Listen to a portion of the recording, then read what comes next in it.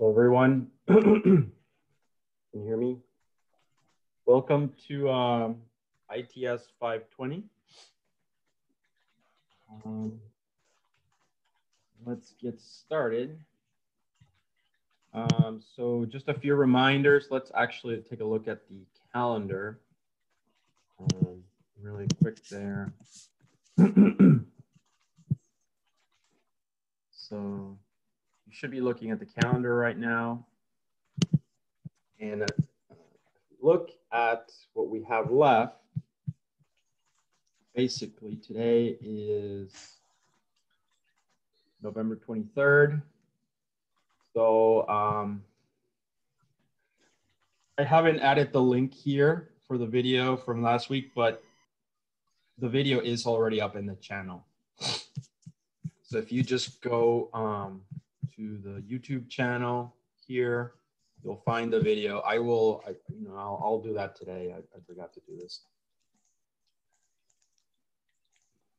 So last week we covered um, Keras, and I got as far as the very basics of Keras, as you know. Um, the other topics of Keras that, you know, basically the last thing that we cover, you know, up until we got last week, that's enough for you guys to use Keras, uh, just pretty much like you've been using Weka and sklearn this semester. If you notice, the focus of the class hasn't been so much on the algorithms themselves of machine learning, but instead it's been on the other parts of the pipeline, right? It has been on taking data and converting it into the vector space model, loading the data, and all of that. And then Keras is a very wide uh, topic. As I said, Keras is, a, is a, an encapsulation of TensorFlow. And the way that we looked at it was Keras in the very high level API. Now, if you look at uh, the code that I have on GitHub, so you should now be seeing my GitHub code. And if you look here, under TensorFlow 2, general examples, we basically covered, um, you know, the basics of TensorFlow basics and Keras. And then we did not cover subclassing and functional API. Those are, in the end, I kind of decided these are more advanced topics. So I will cover them in ITS 530. So that's the, the next class for this, the deep learning class. Um, so if you know if you're interested in those topics or in, interested in, in, in advanced deep, in actual deep learning algorithms, uh, you know, I would strongly suggest you take you enroll in uh, 530. Now, just a kind of a, a summary. So what we covered here was basically example.py and tf2examples.py. So we covered these in full. I did not cover this one, uh, activation functions uh, activation functions. We did use them, and I did show you some examples of where you would use them. Basically, you use Sigmoid and you use um, ReLU, and you also use the softmax. So those three. So really, it's really about using those three. I showed you examples of all of those. But, it, but if you actually want to get into understanding the activation functions, that's something, as you might imagine, I will pick up on in 530 as that becomes a more advanced uh, set of topics as you start to delve deeper into you know the deep learning algorithms. As far as Keras we went over both of these. So i went over the i think i started with xor last week if i remember correctly. And then after xor we did the iris data set but as you remember from last week these were pretty much very similar. And then after that, so I so I did cover all of. Can you guys mute your microphones, please?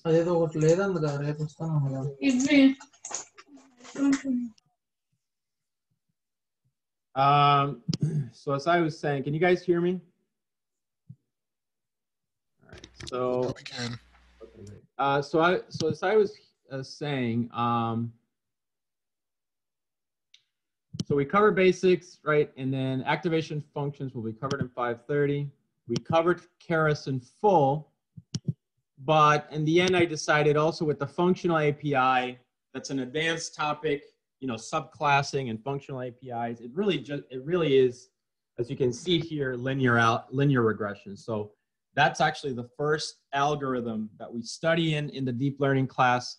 And so um, it'll just be covered in 530. I think, you know, you have a lot of tools already um, to do a lot of things in machine learning. At the end of the day, there's only two things that are really important in this course to get really well, and that's being able to create from any abstract problem, you know, a vector space, right? To create a vector space that you can then feed into machine learning. And as you know, you have a lot of tools, Weka, sklearn, and now you have Keras, and that's what the last homework assignment is about. So if you remember, we concluded last week just on the last homework assignment, which has to do with uh, just like you've done before, right? Uh, so let's let's take a look at it actually. So anyway, so these are the these are the scripts. If you have an interest in just you know learning a little bit more on your own, definitely the where you would continue is to look at activation functions and then of course start going into the functional API and subclassing, which is really the very the advanced topics that will take you to the next level of TensorFlow 2 and all the deep learning algorithms. So really, if you master these, then you'll have you know all the TensorFlow little tricks that you need to get into um, you know, the more advanced algorithms like transformers, for instance, which is the latest as of 2017. All right, so um, that's basically the what's on there. Let's go back now to the, you should now be seeing the Brightspace. So you can see the link is here for TensorFlow 2 and Keras. I've already graded the Twitter uh, practical exam. We'll talk a little bit about that today but you can check your grades as well for that. Um, and then the Keras homework, as you can see, is um, here. So let's take a look at it. So this this will be due. I think I said in two weeks. I want you know two weeks from last Monday. I wanted to see um, some results. So next Tuesday, next Monday, I'm gonna ask everyone to demo their results, where they are so far. Again, you know, very important that you get this right. So here you have the three data sets that we used before, MNIST and RGB images. And what I want you to do is write a report showing the following. For each data set, try different architectures such as logistic regression, neural nets, and deep neural nets so I showed you how to do that in Keras already, even though you may not understand the intuition of it yet, because you, you'd have to take 530 for that, you, you can already create some, some of the, use some of these algorithms. And then also, also report metrics such as accuracy, precision, recall, F measure. I showed you how to do that. And then I showed you uh, some code examples of how to plot graphs to visualize the results. So that's what the report will be about. Uh, you know, and next Monday, I would ask you to, you know, do a, a demo, even though it's not the final submission, but, you know, I just want to make sure, you know, you guys do it right. All right, are there any questions before um, we begin? So if, if we look at the calendar and what we have left, um, you can see here, I was going to cover, for instance, naive Bayes. That's something that that topic, you know, naive Bayes is, is nice to know that algorithm, but it's, as you have seen in Weka, it always performs the worst. So it's not really necessarily something that you, as you're doing projects that you would uh, think that it would give you a great advantage, but it's also, it's good to know. so some of these topics will be moved to other classes, like uh, I'll move this to 365 actually. NumPy arrays, we covered some of that, and tensor operations, we covered some of that. And then I still need to cover these four modules. They really should just be one module. I mean, I don't think there's anything in here. Yeah. So really what I, what I should have said is uh, reinforcement learning and TensorFlow low level API. So that's, and that's what we're gonna cover today. I'm gonna motivate this topic. And then the final topic that we will cover this semester next week will be on supervised learning and if time permits, singular value decomposition and recommender systems. So both of those topics, I believe I can cover in, in two sessions ne uh, next week, so it should be doable. Um, so we'll cover that. But today, uh, the focus of, of today's topic is actually going to be reinforcement learning, and it just means, you know, we're gonna do it in the low level API, which Mitch has already created on Scholar. Um, the Conda environment for the low level API. We may need to install some libraries. The code is already written, so I should, I should probably point that out to you. All right, so if we go back to the, am I on GitHub? Yeah. So if we go on GitHub, you should be seeing my GitHub now. And in that folder that, uh, that you know, when you go on here, deep learning, you can see I have a module called reinforcement learning already. And here it is. This is all the code examples that I have for, um, for reinforcement learning. In particular, I have actually three examples. I have three examples of reinforcement learning. And reinforcement learning currently, and I'll explain this in the theory and everything, but currently, reinforcement learning, or at least not currently, let me put it another way. In the beginning, reinforcement learning was mainly uh, applied to games. All right, so to, it was applied to games. And then now it has extended to things that could be like games, like self-driving cars, um, you know, self-driving drones, you know, robots and, you know, because basically anything that's an agent that has a state, but the, and based on that state and its observations can take actions, okay? And so that's really the thing. So here, the examples that I have are actually three. I have an example of a game called Frozen Lake, which I'll go over today in the lecture, Frozen Lake. And then there's another more advanced example called the taxi cab example. The taxi cab example is about, it's a, it's a, these are, both of these are not 3D, right? They're not 3D. Let me actually add this link before I forget. Let me add this link to the, to reinforcement learning. I'm gonna create a link to the code.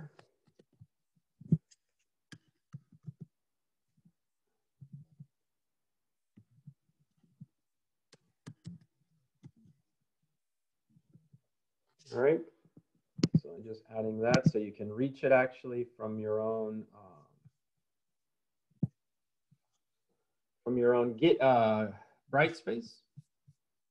All right, so I've added the link there. So you can see. So as I was saying, um, basically these three, I have three implementations of reinforcement learning here for games. One of them is for, or two of them are actually for two-dimensional games. So th these are the types of grid games. So for instance, if you've ever played tic-tac-toe, right? Or if you've ever played chess, or if you've ever played um, mm, any other game that's like, you know, 2D grid, that's, it's, this is kind of the same. So Frozen Lake is, it's very much a, two, a 2D grid game that's very easy to understand. Taxi Cab is a little bit more complex because it's got a lot more going on. Uh, taxi cab is really about a cab that tries to pick up a person somewhere and then take them to another location. And then uh, what I have in here, the third one is, um, it's called, uh, it's an autopilot for, uh, for a, a simulated airplane. So you know, uh, there's a there's a there's a game out. There's a lot of flight simulators. I don't know how many of you have ever. I'm, I'm sure some of you have played a flight simulator. Uh, they've been around, you know, for a long time. Uh, and so, if you've ever played in a flight simulator, you know, it, you know, they're they're really about flying an airplane, you know, that kind of thing. Simulated a simulated version of it, but according to you know real pilots, the, the simulators are, are very realistic, at least in some of the principles. So at least as far as reinforcement learning, they're useful. Um, there's two uh, there's two flight simulators out there. One of them is called um, Flight Simulator 2020, Microsoft, right? The one that just came out. And then there's another one that has been around for a long time also. It's called X-Plane 11. And um, so NASA developed an interface for X-Plane 11. It's a UDP type of software, and it allows you from your own computer, from your, you know, your Linux, Mac, Windows, uh, you can install the, the software. And then you need to have also X-Plane 11, a license for it. It's like $60 or so. And then with that, you can actually then interface your Python code where you can write any machine learning algorithm from TensorFlow, for instance, and you can in, um, you can then interface that with X-Plane 11 and basically fly the plane, right? So you fly the plane through UDP packets, you know, um, that are being sent from your TensorFlow program to X-Plane 11. So that was developed by NASA, and so you can actually then use that to just add a library. And so what this is, what I have here, I call it deep QAP. So it's Q is because it uses the a, a reinforcement learning algorithm called Q learning. We'll talk a little bit about that today. AP obviously stands for autopilot. And then deep, obviously, because you can use deep learning with this. And so that's kind of the idea. So it's a little API and you can use this. Uh, so basically, Deep QAP is an implementation of Q-learning for automated flight using X-Plane 11 and XPC. XPC is NASA's um, library. So uh, the way that I've developed this is that it's very modular. And so, you know, as you might imagine, an airplane, imagine that you have an agent, and an agent is just a computer system.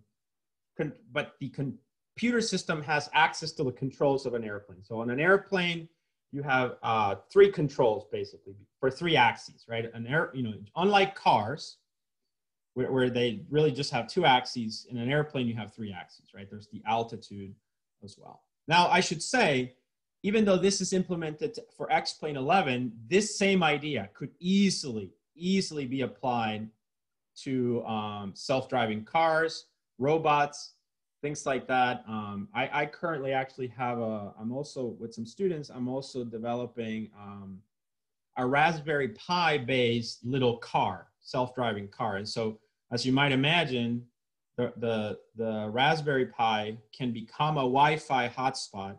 And so basically from your laptop, you can connect to it and control it. So it's exactly the same thing as this, where the simulator module can be removed and replace with wire uh, uh, with a library in your own uh, that of your own making wire uh, PI, and that allows you to control the pins on the Raspberry. That allows you to control the all the actuators and servos and everything on the on the self-driving car, an actual physical thing. So what I want you to understand is that this can literally be be plugged in. I mean, the modules can be easily are replaced with um, with um, other modules, not just for flight, you know, not just for X-Plane 11.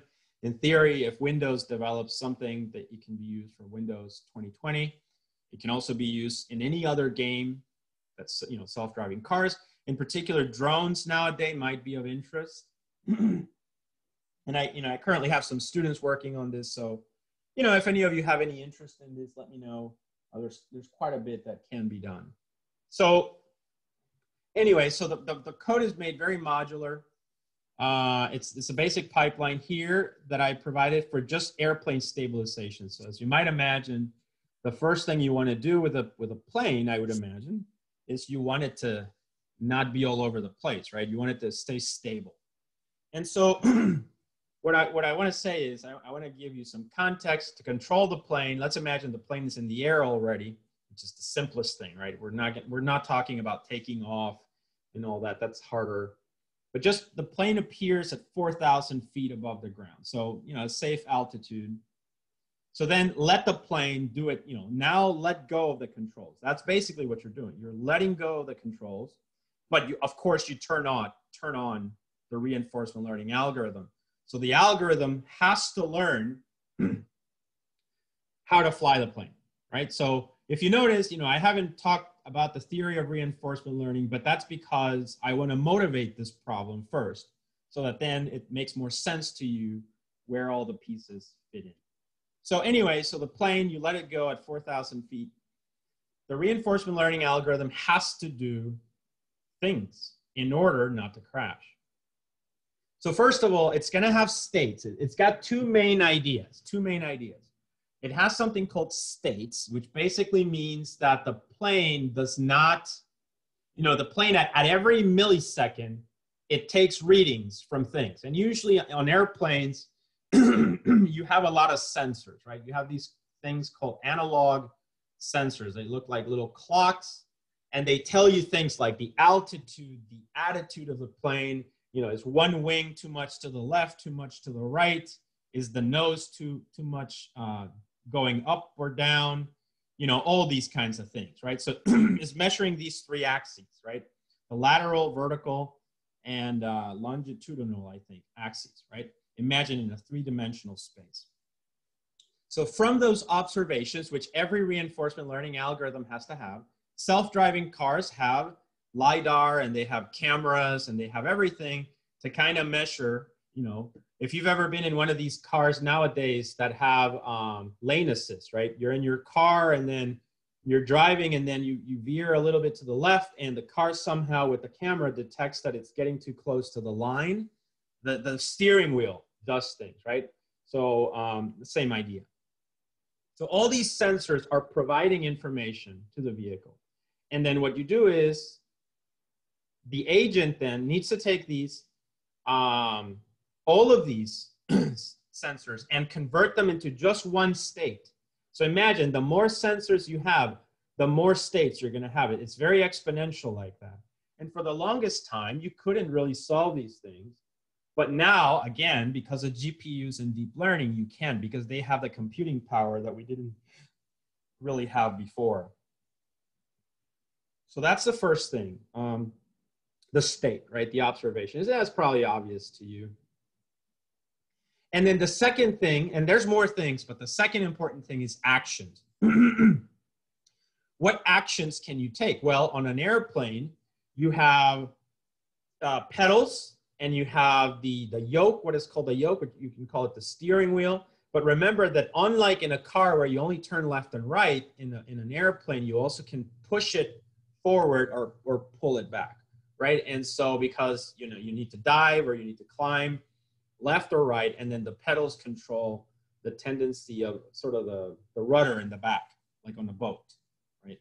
And so, um, and so you have these three controls, and there's also the throttle, actually. The throttle, obviously, because if you give it, if you take the power off, the plane loses power and gravity takes over, right? So it starts to descend like a glider, for instance. You give it more power, starts to climb again because, you know, it starts to like push air down, you know, get that whole lift, you know, that whole principle, Bernoulli or whatever.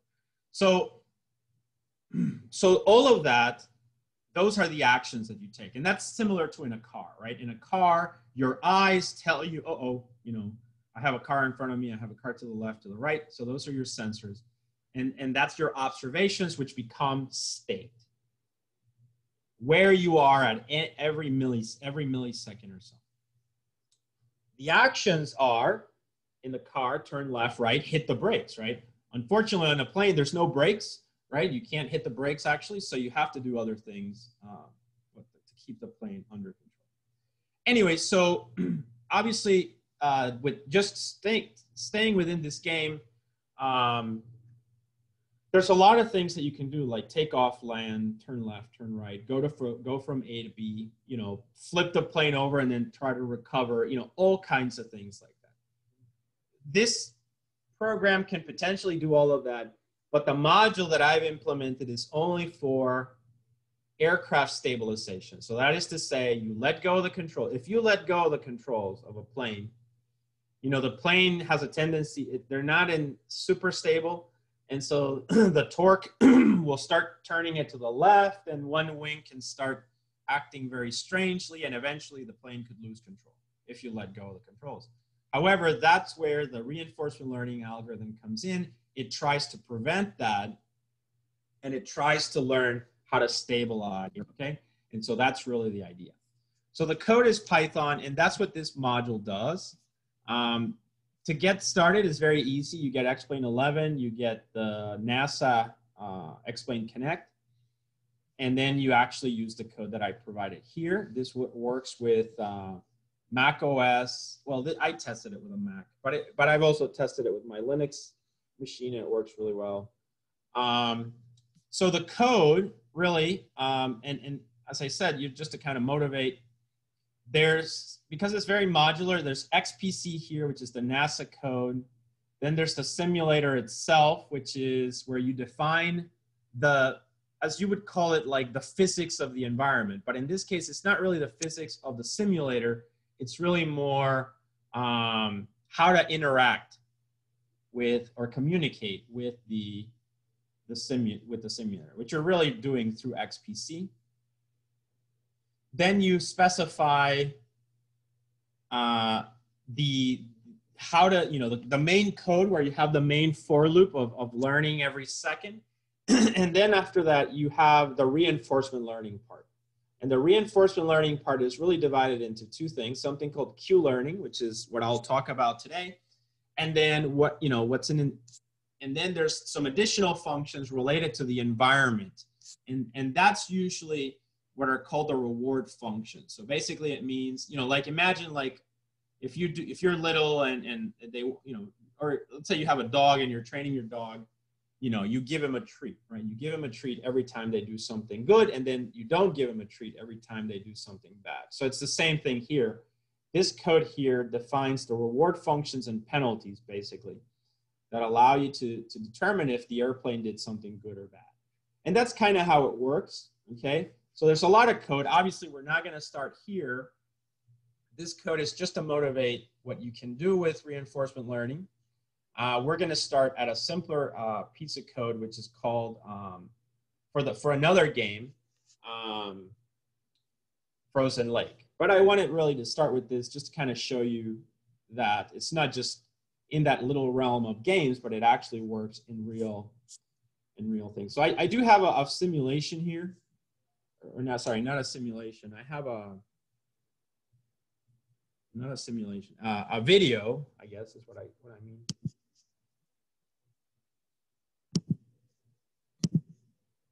Okay, so I don't know if you guys can see this video, but can you guys see it? Yeah, we can see the video play. So the, in this video, um, that's the plane. That's X-Plane 11. So as you can see, it provides a lot of things. And that's really the great thing about this kind of work. If you find this simulator, if you find the simulator that has all the physics already and everything, and, and then all you have to do is, if, you were playing the game, what do you have? You have a joystick, right? So all of us, you know, have some kind of, probably have a lot of joysticks for a lot of games that we've had over the past. And, and through the joystick, we control the plane. And that's similar to like in real life, we had a steering wheel. So, well, well, in a sense, what XPC has done, what NASA created, is that they have created a virtual joystick, right? A virtual joystick. And then through the virtual joystick, then you, inter you interface it, excuse me, with your own Python code and then you can, you can basically learn how to fly. So as you can see in this video, uh, this is after a lot of iterations. So currently the, the code is running there. You can see it's already on game 14, move, uh, move, or game 15, whatever. and I'm keeping track of everything. And what the what the plane is doing at this point is it, it has actually learned a little bit, right? So the wings still the wings still uh, are oscillating a little bit, but there's there it is st- more stable now than before. So I, I didn't record the whole video from like beginning to end. So sometimes it does still uh, dive, but you can see the nose no longer climbs up and down. It has learned how to do that. You can see that some, and that's it, I guess. So, uh, but that's basically the, the example there of the video. And so what the plane was doing is it was learning how to stabilize okay? Um, so anyway, I, I showed that video again to motivate really what you can do with this. So a lot of the time when you hear about self-driving cars and all that, you can, you can now begin to understand, oh, it's some of these types of algorithms. Keep in mind that uh, Airbus, for instance, already has machine learning algorithms that don't not only use the sensors of the plane, right? But they also use like cameras. It's basically like they're mimicking now the eyes of a pilot and they can see everything. And of course, with self-driving cars and everything. I know that for a long time, self-driving cars have been using LiDAR, which is like a type of radar. But I think they say that the image, the image processing is now also really good so that LiDAR may not be necessary in the future. So anyway, a lot of changes obviously in this field. All right, so anyway, that's pretty much as far as motivation is concerned. So now what I'm gonna do is, as I said, excuse me, I'm gonna go back to the code. I'm gonna start with a simpler example now, which is Frozen Lake. Frozen Lake, it's a little type of a game that we can all just easily uh, pick up really quickly. Uh, and I'll, that's what I'm going to use to describe how everything works in Q-learning. But you already know that with, it takes very little. So if you look, if you look over here, if I go to Deep QAP, pretty much all this code is about controlling the plane in the simulator. Really only this, these few functions here have to do with the reinforcement learning part and these functions over here in the environment, there's a few more in here, but these have to deal with state and uh, reward functions. So it's really not that much. Uh, so it, it doesn't take that much because a lot of it is the simulator itself has to be running in the background. It controls it for you. So the way this works is that you usually need to have a simulator and then the reinforcement learning. They're two separate things. in this case, I used X-Plane 11. Others in the in the past they use. Um, so let's say now let's let's look at uh, Frozen Lake. So Frozen Lake is also about playing a game. To play this game, it's the same thing. The reinforcement learning is separate from the. Look at how short the code is. It's pretty short. The reinforcement learning part is separate from the game. To play the game Frozen Lake, you need a library called uh, Gym. So, so OpenAI Gym is a standard library in Python. I don't know if you can see it. You should be able to see it. Yeah. So OpenAI Gym is a library in Python for playing games. There's a lot of, it's mainly board games, so it's not really, but there are other libraries. There's a, there's a library to play Atari games, so they're a little bit more complex than these. Um, there's um, a lot of simulators out there. I've, I've shown you there's X-Plane 11. There's also um, uh, from the creators of Fortnite, uh, what are they called? Um, Unreal Engine.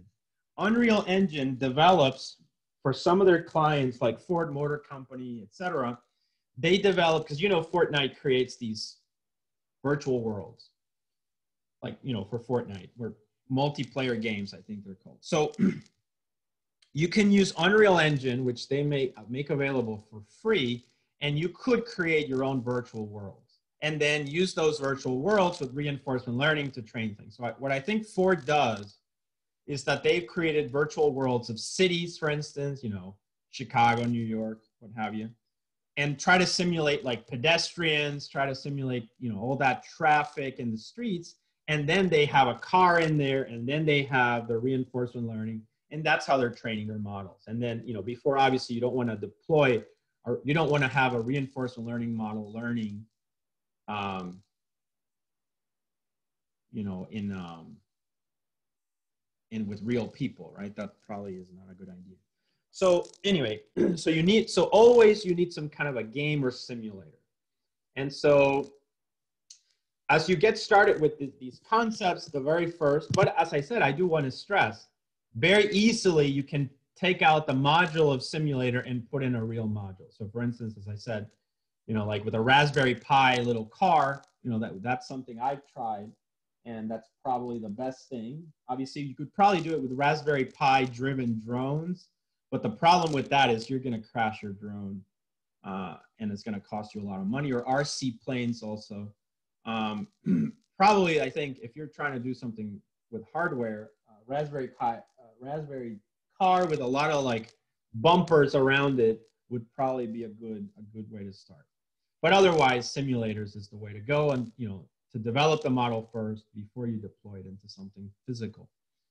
So usually where you start when you're learning reinforcement learning then is you can just start with Python's uh, gym.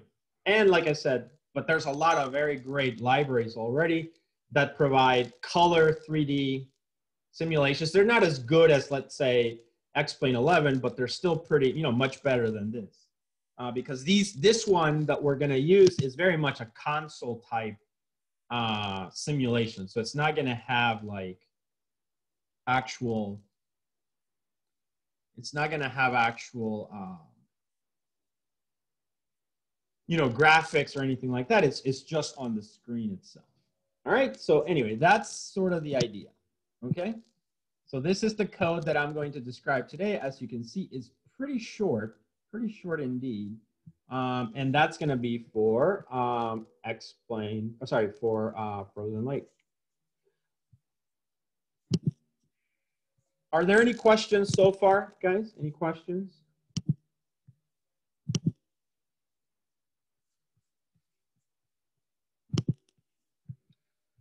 No questions? All right, so then let me open up the, the notes. so this is 520.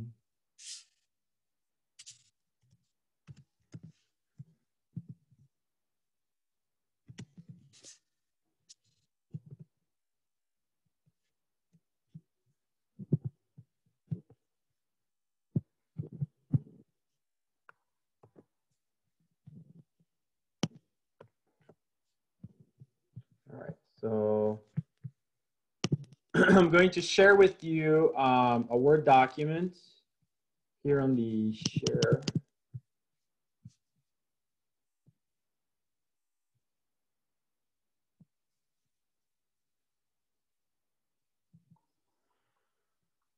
All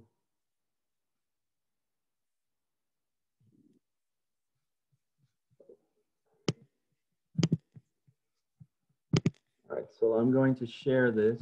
All right, so you should now be seeing a Word document that I have on here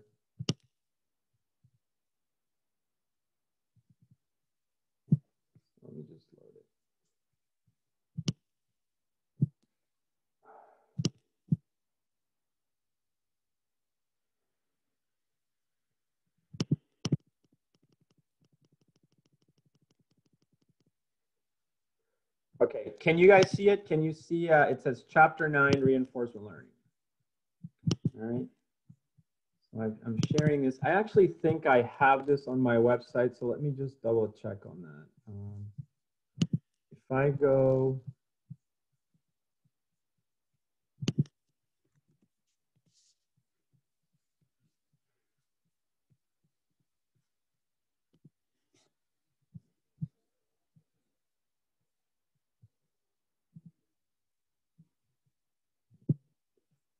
right, let me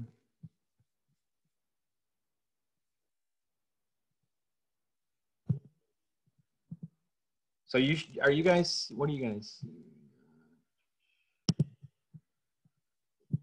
Okay, so you should be seeing a PDF, I think, right? And if you go to this PDF, there it is. So this chapter, I'm going to make it available on the on the Brightspace, Should be the whole chapter. Yeah.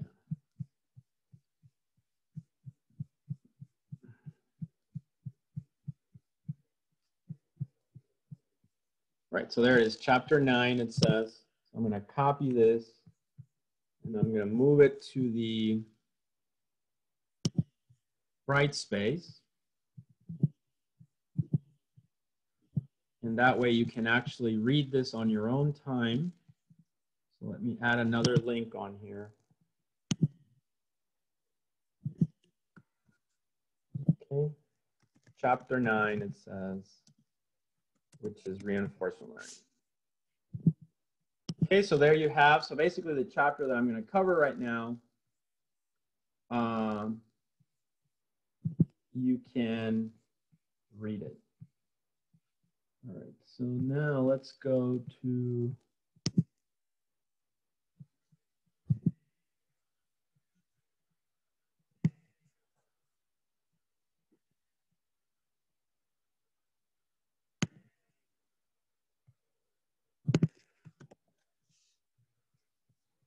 Okay.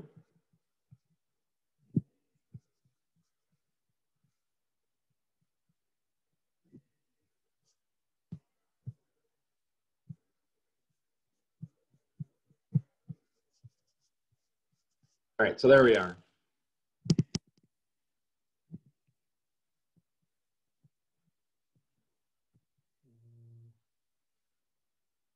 All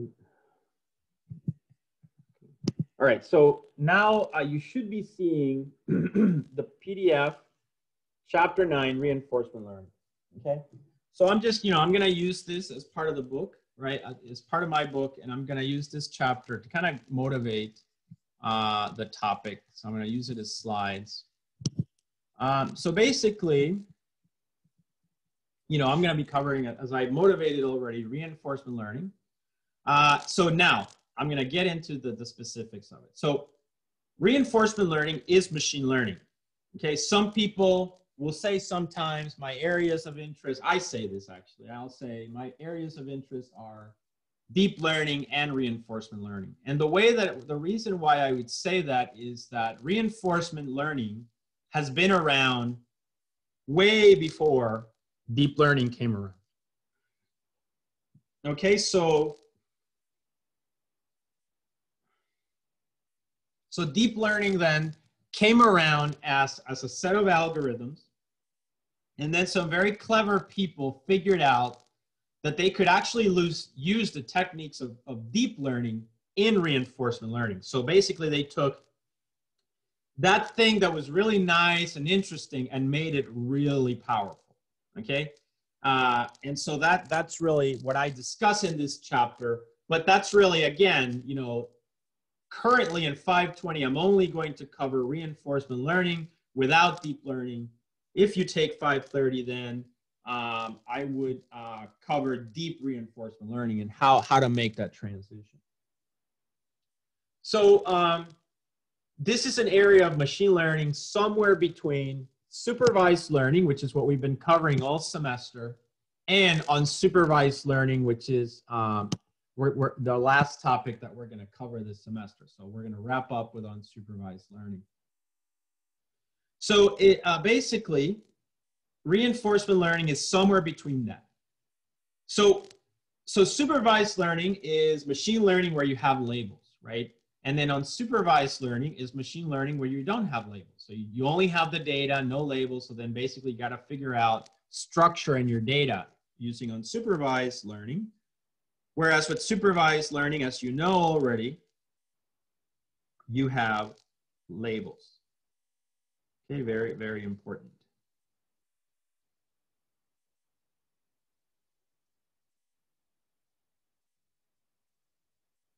So uh, it has been extensively applied to things like recommender systems and AI-based games, which I've already motivated a lot today. Recently, it was shown that a deep Q network, right, and Q network being a, or, or Q learning being a, a, a technique from reinforcement learning that has been enhanced with deep learning. So it has been shown that using only pixels and game scores as inputs, the game could surpass, or, or the deep Q network could surpass or and, and achieve uh, playing level comparable to that of professional human gamers. And this was done across a set of 49 Atari games in, in, uh, in as recently as 2015. Right, so five years ago, uh, that's where the state of the art was. Obviously now, you know, it has gone further up, but basically they had a, a machine learning algorithm based on reinforcement learning that was able to to basically play better than uh, professional Atari players. Now, you probably didn't know that there's a profession uh, for Atari gamer. Uh,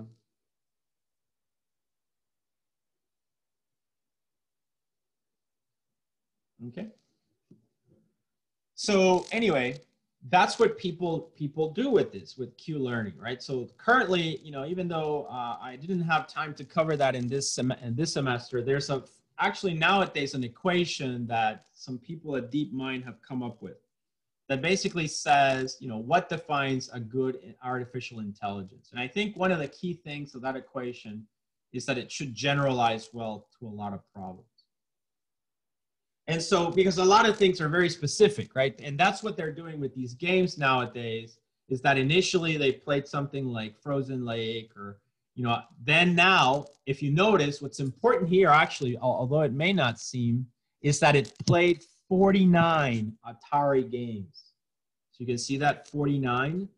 And why is that important? It's important because what that implies is that MNES or NES, uh, however you pronounce that name, I think the M is silent, or me, and the N is silent. Um, it, they, his group didn't just develop an algorithm to play one single game. So that's like me saying, oh yeah, I developed this module to fly X-Plane 11. Well, wouldn't it, wouldn't it be better if I developed a model, and by the way, it can play X-Plane 11, it can play car-based games, it can play motorcycle-based games, boat games, train games, and even people walking on the street the difference there is that the model generalizes as well to other problems. So it's not just specific to that one. And that's very critical. Okay, that's very critical. And so that's where the research is nowadays. It's building, you know, building much more intelligent systems.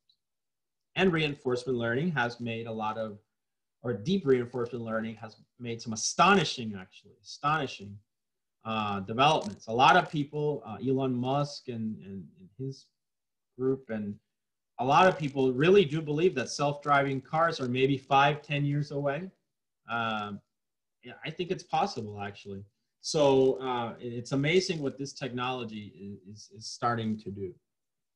And you should, you, should, you should definitely keep an eye on, on it. That's why I'm introducing it to you in this class. Unfortunately, this, um, honestly speaking, we could literally have a whole course on just reinforcement learning right? It's such a wide topic that it's independent of itself. Um, and but unfortunately, you know, we don't have that course here in the, in the, university. So we, we can't really just make a whole semester of it, but at least uh, this, the lecture today will give you enough, um, enough that if you find this interesting, I've made the chapter, you know, this is chapter from my book, but I've made it freely available to you. Um, so may, and the code also is available freely to you. So if you have an interest in this, certainly, you know, hopefully with what you already know about machine learning, plus, you know, this, you can be on your way. All right, so, um, so, so what's the trick here, right? What's the trick with reinforcement learning? So the main advantage of playing reinforcement, and, and this also, by the way, this chapter, you'll see a few typos here and there. It's an old version. It's not my current version of the chapter, so it's a little bit, uh, has a few issues. All right, so the main, but but the substance is okay. So the main advantage of applying reinforcement learning to games is that games are governed by rules. You guys know this, right? So I'm sure I don't know how many. You know, I play chess with my dad. You know, I love playing chess, and and and I'm sure you play other games, and you know that games are structured by rules, right? You know, I don't know if you've ever played chess, but you know, there's a lot of rules that you have to kind of understand how the how to move the pieces uh, you know, what piece goes where, what, what a piece can do. And, and the whole strategy is based on that. And at the end of the day, based on those rules, you win or lose. Maybe you heard uh, Deep Blue many years ago uh, defeated uh, Garry Kasparov uh, playing, uh, playing chess, right? And this is way back then when they, you know, because I should say, I guess, I'll talk a little bit historically about chess. It's very important to AI, but you know, Deep Blue, I think it was in the 90s, I can't remember, beat Garry Kasparov, who was a master at chess. Um, and so Deep Blue beat him. But back then, Deep Blue was, was created by IBM as a computer that had a search tree, I believe, and it had a whole bunch of rules, a lot of heuristic rules. So, what are heuristic rules? Heuristic rules are rules developed by humans like if statements, if this and if that, and then do the search tree here and so on, boom. So even though that computer was really impressive back then, it wasn't machine learning. Okay, it was more human expert encoding of their knowledge into the machine. Okay, so I, I want to stress that because that's very different. It's called, and that's called heuristic rules. Whereas what I'm talking about here, reinforcement learning is machine learning, which basically means, yes, you give it a set of rules and principles, but you don't give it any knowledge about the particulars of the game. You don't tell it, okay, this is how you win. You only say things like, well, this is your goal to achieve, and you're gonna get a reward if you if you improve that goal or a penalty and of course, you define the laws of the game. Just like we have the laws of physics, right? The laws of physics in our world say I can't jump and reach the, the, the clouds, right? That doesn't happen because gravity is going to keep me grounded, you know. Um, and so that's a law of physics. You know, you can't break those, right? You know, I can't. I don't have superhuman strength or anything. You know, it's it's just the laws of physics. Well, in the game, you have the laws of the game, right? You can't, you know, can only do certain bishop goes in, in diagonals in chess and, and things like that. You can only do certain types of moves, okay? And so that's what's really important about this that I want you to understand the difference between Deep Blue back then, I think it was called Deep Blue, and, and today, right? So that was a whole bunch of rules and heuristics. Machine learning and reinforcement learning is, is the machine is literally learning. So the machine starts with a table and the table only has random data, especially in Q-learning. That random data needs to be replaced with actual weights that have meaning based on a state and, and an action. And that's what we're gonna see today. Please, you know, I, you know, I, I, with these virtual classes, it's very difficult for me when I talk to you guys because I don't know if, um, you know, if, if things are um, registering. So let, please ask questions if you have them or you know i don't know. But stop me at any point if if something is not clear okay? So actually uh, the interest in A, so ai so I, I wanted to say historically ai has always had a very strong interest in games in particular in chess and in developing machines. This goes back all the way to claude shannon. So if you remember we talked about claude shannon in 350 he was great for encryption but he actually is the father of information theory and and later you know although back then when he was in the 50s and 60s there were no like really electronic computers right? Everything was more like uh, uh you know like uh, machinery type of i forget the word but mechanical mechanical there you go mechanical computers. It wasn't until the transistor that came in and made you know created the computers that we know today. But claude shannon even back then had a serious he was a very eccentric character. And he had a very serious interest in uh, games and in, in, in intelligence. He is believed to have created one of the first actual reinforcement learning games uh, type of thing, uh, where he, he taught a mouse, he created a labyrinth and he had a mouse, and the mouse had to get to the cheese, and without you know in the, in the fastest possible way. And so initially the mouse randomly would hit a lot of walls and would take forever, but eventually he figured out how to get the mouse to learn the appropriate path. And at the very end of a lot of iterations, the mouse would get to the cheese really quickly. And so that that first game, which is you know historically in, in like museums and things, you can look up how he did that. Um, but basically, since then, there's been a lot of study. Obviously, um, AI, the field of AI, has done a lot of this. If you if you you know, um, we're going to teach a class 265, Introduction to AI, and I'm sure Professor Kim is going to be teaching it, I think, next semester. And I'm sure um, there's going to be a lot of uh, discussion of chess there as an introduction.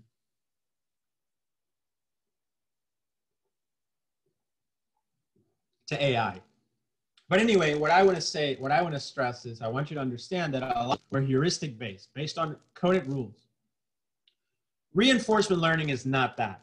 And then deep reinforcement learning, as I said, if you take 530, I'll cover that then, takes what we're going to learn about this idea and extend it um, to a more powerful basis. Okay? Are there any questions so far in any of this, guys? Is this making sense? Are you guys understanding?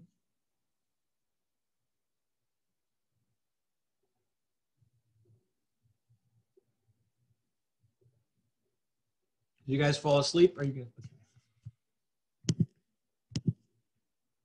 Okay. All right. So uh, so let's continue then. And as I said, read through this chapter. That's probably the best thing. What I I'm not going to give a homework on this, but I'm get I've given you the code. And what I'll say is run Frozen Lake and maybe even Taxi Cab. The code that I provided, you can you can run it on uh, Scholar. Just use the uh, you'll have to use the um, TensorFlow 1 uh, environment that Mitch created, not TensorFlow 2. The Conda environment, because it, it, it, the code is written for TensorFlow 1. But before I forget, I want to say as uh, not homework, but just as for your own knowledge, run those two. You don't have to, you won't be able to run uh, the, the pilot, the flight simulator, unfortunately, because unless you buy you have to buy a license for X-Plane 11, which is $70. I mean, it's not really that expensive, especially if you like gamings, games. Um, all right, anyway, so definitely before I forget, run those, you know, on your own time. So the main advantage of applying reinforcement learning to games is that games are governed by rules. So I've said, you know, I talked a lot about uh, and so what this means is that in supervised learning, which is what we've studied all semester, we always had labels, right? So in Iris, we had, you know, we had uh, vectors of four features, and then we had labels, Setosa, Virginica, Versicolor. In M an MNIST data set, we had 10 classes, the digits 0, 1, 2, 3, 4, 5, 6, 7, 8, 9, right? So we had all of that. So, um, you know that's you know that's really important um, in supervised learning. In unsupervised learning, we would have the iris data set features F1, 2, F3, F4, no labels whatsoever. Here we have something sort of in between. We don't initially have labels. However, we have the following. Whenever we take a vector, F1, F2, F3, F4, we run it through the game because that is the actions that we take, let's say, given the state. And what's going to happen in the game is that, for instance, just to take an exaggerated example, if you're driving a car, you're going to crash the car into the wall or you're not going to crash the car into the wall. So if you had an, a, an option of turning left or right, well, if you turn left, you crash into the wall. If you turn right, you don't crash into the wall. What did you learn about turning?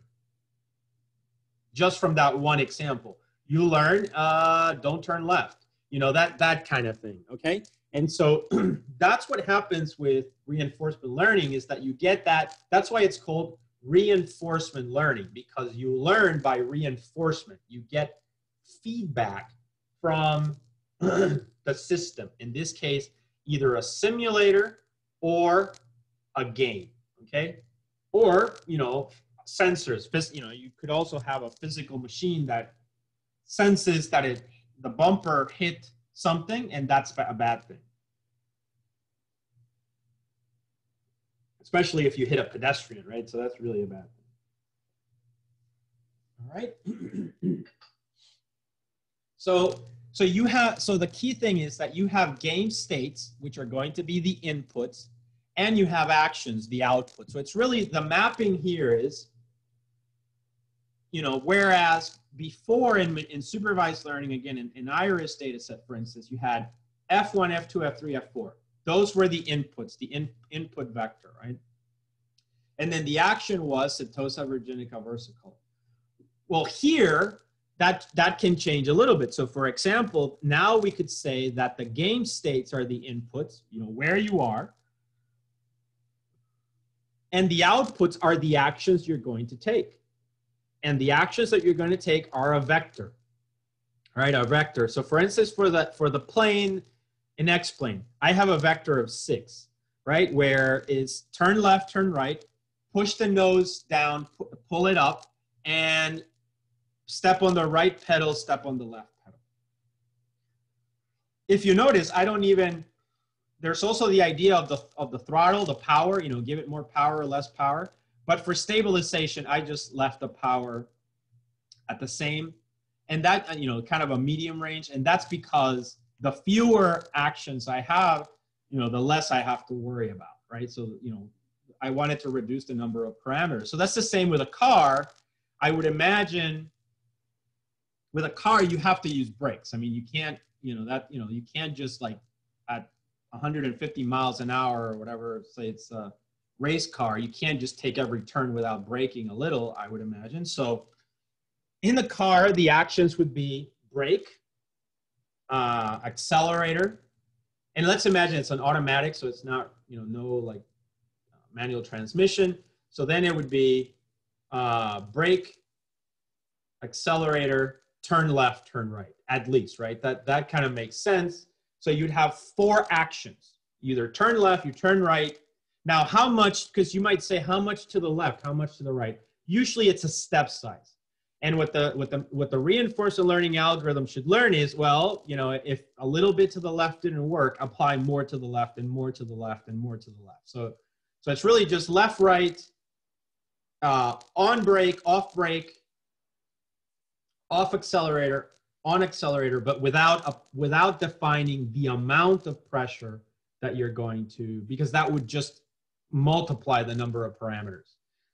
Obviously, you you know if you were actually doing research in, in, in driving a car like that, you'd probably want to read the literature, find other papers that have done it, so that you have a better understanding of what's going on. In any case, uh, the inference function then, as you might remember, y equal mx plus b, here becomes kind of the y is the actions, the output vector, and the x is the inputs, the game states, where you are in the game. So anyway, so you have the game states and the actions that lead to new states, and in particular, they lead to what are called rewards. And rewards are the objectives to maximize. So the, this is the thing that you you need to you want to maximize getting to the cheese, right? So if you hit a wall, you should actually get like minus five, minus five. But if you take a if you make an action and you don't crash into anything, that should be like a plus two. And if you make another action and you don't hit anything, that's another plus two. If you if you if you reach a milestone, that should be a plus five. And if you get to the cheese, that should be a plus 20. All right, so now that's the part of reinforcement learning that is a little bit tough. And because that's called defining the reward functions, and defining the reward functions is the, one of the hardest parts because the reward functions unfortunately depend entirely on the game itself. They depend on, you know, or, or the environment, right? So if you're teach, so, so let me give you the classic example. There's a famous paper out there of how do you teach a robot to dance um, salsa? I mean, what it, what what what on earth would be the reward function for that? You see that you know, it's very, and now imagine that you want to teach, you know, uh, somebody to take apart a combustion engine. What is the reward function for that? You see that it's very, so it becomes really difficult. And so, so that's where a lot of the challenge is, is defining these reward functions. Uh, because so that, that definitely, you know, you need to, that's why, and that's why I said, when you take a class like, you know, when you talk about the topic of reinforcement learning, you really have to spend a semester because there's so much that goes into just looking you really have to look at examples of lots of reward functions for different problems you know and all kinds of things like that. So as a conclusion because we have this mechanism of rewards and states and actions and we have the rules of the game uh, no annotation is needed instead you rely on the rules of the game for feedback so instead of annotated label, labels so I, so I hope this is clear. Uh, this is something that if you don't understand at this point in the semester, you really need to see me because uh, it's, you know, it, this is something, again, it goes back to the vector space model. So one thing I want to say before I forget, one thing, you know, a lot of you did really well in the Twitter exam, but I still saw some of you that don't understand that a sample should be an entire tweet. Okay, a sample should be an entire tweet and then you use the bag of words approach to represent the words that appear in that tweet as ones or the count of those words in the vector and the, the rest of the features are zeros, right? Remember that if you have 30, let's say 100 words that you're using to represent each one of those tweets, then you all vectors are of size 100, but only the words that appear in that tweet would get ones or above in there and the other ones have zero. So a lot of you got this right, most of you. But some of you I've noticed still we're not doing that correct. So uh, again, if you're having that problem, um, you know, you, you, you, need to see me. Okay, so um, anyway, going back, I just wanted to say that before I forget. So there are several types of reinforcement learning. So I'm here, hopefully you're following along because uh, you can read the PDF. Um, so there, there are several types of reinforcement learning techniques. Um, in my in this in the chapter in my book and in fact in in my um, in this discussion today i'm only focusing on q learning uh, focusing on q learning which is this one because it, q learning is the one that has been uh, become very popular it's the technique that has been used by Mnih 2015 in his atari games you know nowadays there's alphago which is um, a game. Go is a game that is supposed to be more complex than chess, I think. And it was uh, Go was um, AlphaGo is, is again a Q learning based reinforcement learning algorithm that defeated the the Nash the the world champion. I think it was a South Korean master, and he was defeated. And then uh, after that, I think came Alpha Zero, uh, and Alpha Zero is again this generalization. So now they created a game that could defeat masters not just in Go but in chess, and it's the same algorithm. And remember, again, that's really the key. Uh, as as far as people have defined AI nowadays, that um, AI algorithms that are true AI are the ones that generalize to multiple things. Um, if I have time, at the end of the semester, I'll, I'll show you guys that equation is really very interesting. I just, you know, I haven't had time to put that in here. All right, so uh, anyway, that's pretty much the one. So really this class, or this chapter I should stress, is only about Q learning. It is, that's part of reinforcement learning, but that's not what I'm, I'm not covering the whole of reinforcement learning. I'm, I'm only focusing on the one algorithm that I think that we can grasp uh, quite uh, quickly, okay? So here I'll try to provide a single, a simple intuition based on uh, base description of the technique. I should note that to achieve obviously the kind of uh, this uh, my explanation is not at all the Q learning implemented in the Mnih paper. Obviously, that has a lot of optimizations and things to make it better, uh, as you do with when you have a specific problem. This is just more of a general discussion uh, so that you understand a little bit about Q-learning. All right, so what is Q-learning? So Q learning tries to learn the value of being in a given state, let's call it S, and taking a specific action from there. All right, so it's really a table. That's all it is. I have a, I'll show you. I have a little table and Q learning, the, the basic intuition is that it's a, a simple little table. And in that table, you learn associations, which are, you know, basically like in a neural net, right? Remember in a neural net, we had input neurons and output neurons, and the links between them were called the weights. And those weights represented the relationship between neurons in one layer and neurons in the next. Well, same thing here. We have the initial layer is the states, the next layer is the actions, and the links in between them are the weights. And we are going to learn those. Okay, so that's really the idea. Uh, so as I, as I indicated, Q learning has been applied to games. Uh, the, base, the best way to understand uh, the algorithm is to analyze it from the point of view of a game. So here, you know, I've already stressed you need to, uh, uh, we can use OpenAI Gym so if, when you try this on Scholar, if OpenAI Gym, I don't know if Mitch installed it. I'm assuming he probably didn't. So in the TensorFlow one, you'll have to install AI Gym. I'm sure it's pretty straightforward. I would imagine it's something like conda install Gym or something like that. Um, so, so Google it, but it should be pretty easy to install it. So we're going to use OpenAI Gym to play, uh, and then we will select the simplest, one of the simplest games. I think they have tic tac toe, but let, let's start with Frozen Lake, the game environment. Um, so, so let's think about Frozen Lake. And this is really Frozen Lake right there. So you should now be seeing a four by four grid, right? That has 16 cells. And that's literally the game, Frozen Lake, okay? Um, so, you know, this is pretty straightforward. I'm sure in, in, a, in some of your classes you've taken um, some, done some games, so you have some intuition on how this works. So Frozen Lake is a game about crossing a frozen lake. So that, that's all it is. But the, now the lake has some cracks in the ice with holes in them. And there's also wind sometimes, and the wind pushes you. So you, you know, you're standing in, in the frozen ice and the wind just pushes you and it might move you to a hole.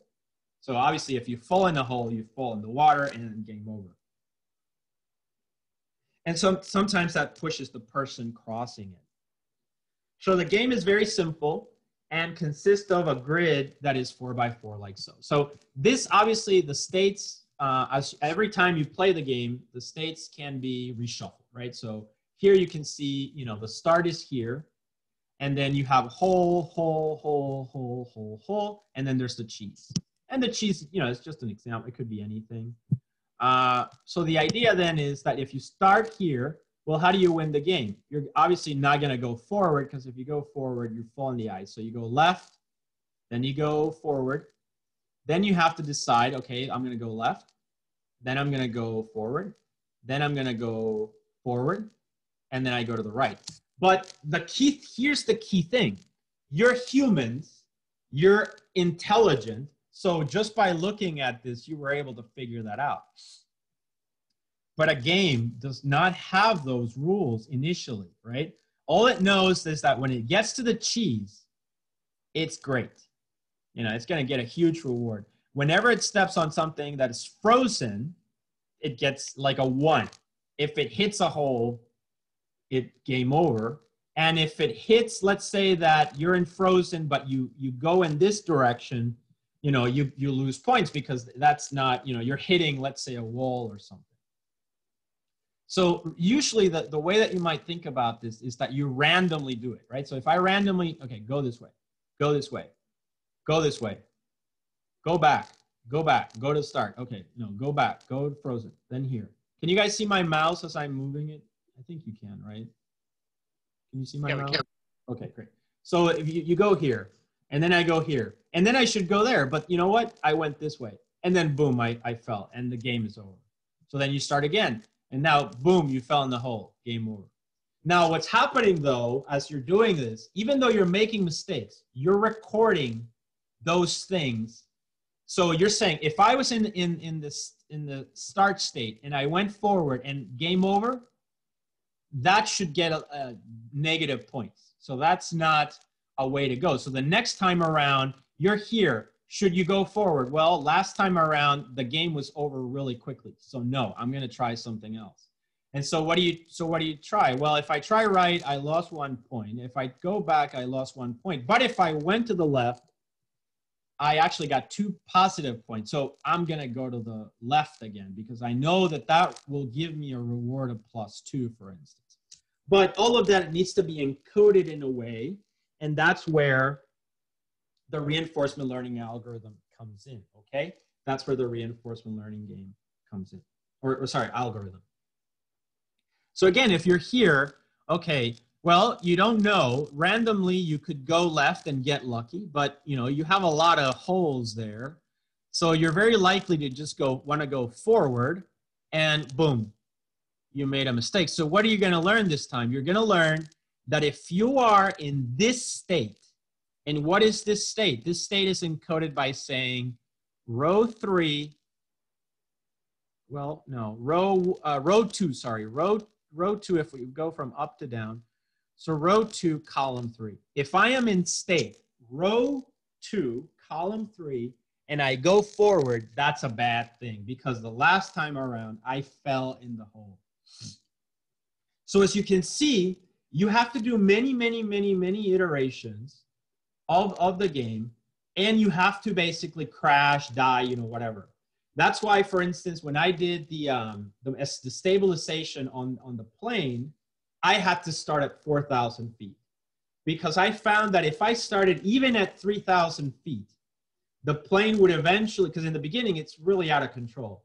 So you should see, I should have actually recorded in the beginning. It looks really like very, very exciting, like a movie, you know, how that plane is all over the place. And it's diving and, and climbing and things like that. I, you know, um, if I didn't give it a buffer of 4,000 feet, I, it crashed a lot. And so I had to then restart everything and I wasted many hours. So the best approach is really to um, give it a lot of iterations. It's going to crash, but that's why we use a, a simulator. Okay, a simulator. And so, so hopefully that makes sense. That's the game. The states are going to be then 16 positions. Now imagine the, real world does not have 16 positions. The real world has millions of positions.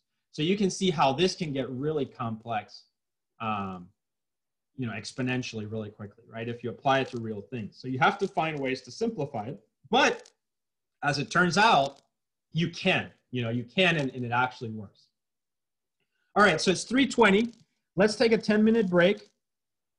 Um, and I'll continue with these, uh, with this lecture, finish it up during the second uh, half. And this will give me an, an option right now to start generating this video. Okay, guys? So I will see you in 10 minutes.